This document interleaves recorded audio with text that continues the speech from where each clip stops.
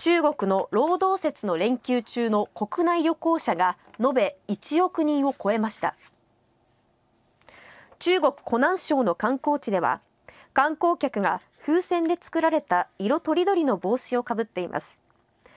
1メートル帽と呼ばれる帽子には長い風船が取り付けられ新型コロナウイルスの感染拡大を防止するために来場客が距離を保って観光するよう無料で配布されました。中国では1日から始まった労働節の連休中の国内旅行者数が4日間で延べ1億人を超え観光収入はおよそ6480億円に達しています。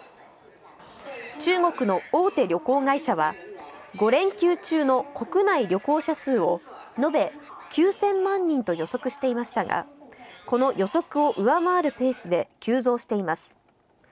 これまでの巣ごもり生活から人々が街へ繰り出し消費意欲を爆発させるリベンジ消費が始まっているとみられています。